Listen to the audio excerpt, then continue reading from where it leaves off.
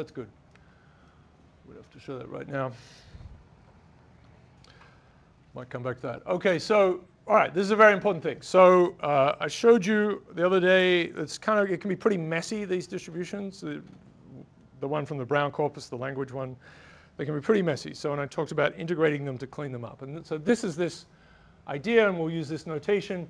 So this is probably that uh, your sample is greater than x, at least equal to x. And so, and you could write it like this if you want, it's uh, the 1 minus the cumulative distribution. So this is a standard thing in statistics. This is what we'll call a complementary cumulative distribution, sometimes called the exceedance probability. And so simple construction, right? We're going to integrate from our value x to infinity. And so we want, you know, what this is, what is the probability that we're at least at x? Right? And again, cumulatives are pretty common. We use them all, all the time. But this is the complementary cumulative.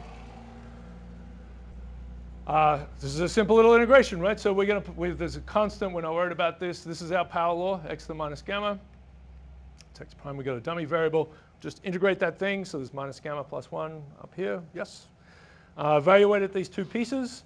And um, so infinity, this is, this is greater than 1, so this is going to disappear. And then we just have x at the uh, bottom end. So if you can see this, this is, a, this is, this is why we you know, choose to do this, because we end up with another power law uh, with a different exponents, minus gamma plus 1. So we've gone from our original probability distribution, which is this x to the minus gamma. The complementary cumulative is x to the minus gamma plus 1. And because this is integration, it smooths things out, right? Differentiation breaks things up and makes things messier.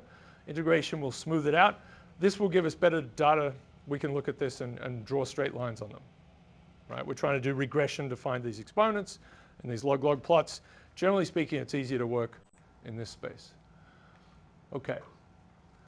So uh, it's fine when it's just the tail, right?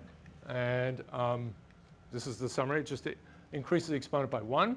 And so here, here are some plots, right? So here's a PDF, and this is again this brown corpus, lots of scatter and so on, right? The was out here. This is the word the.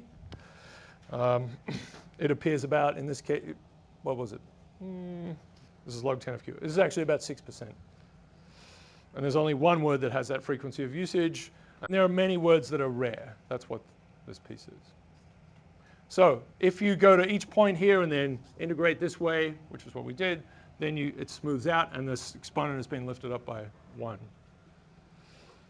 And you see it's going to be a little messy in places, right? This is not exactly straight. It's going to be messy out here. There are, there are less points out here, of course.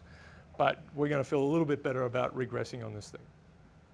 Not super. It's, it's OK. There's not a lot. I mean, there what is it, 2.5. There's a couple of orders of magnitude. It's not bad. Just an example. Yep. Yeah, so this is the number, so it's always going to be decreasing. So, so the, the cumulative distribution is always increasing, right? Because how many things are less than something? How many things are greater, that's going to go down. Yeah, yeah, yeah. Yep, it's good and it's back in partly in here, right? So this is this is this is increasing with x, and it's one minus. Sorry. This is the this is a cumulative distribution. That's something that's monotonic. Yeah, right. One minus means it's going to be. Yep. Good. Good. So you always you always expect to see this. Okay. Uh, same surface as a discrete variable. Um, we've just got probability of k. k equals one, two, three. Then usually the game here is we write, we put our, I haven't shown it here, but we always turn sums into integrals. Rough approximation, so that's okay. It's the story here, and we get the same thing. It's rough, but it's the same idea. Same thing holds.